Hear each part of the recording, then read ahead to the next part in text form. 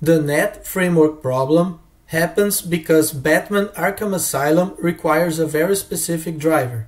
To fix this problem, go to the game folder. In the game folder, open the Redist folder and run the PhysX installer. This is a PhysX driver required to play some old games.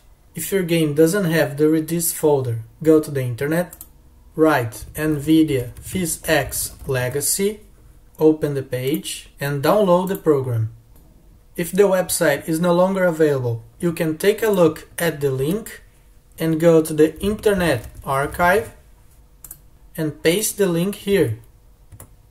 This will allow you to open this page even if the original page is no longer available. Install NVIDIA PhysX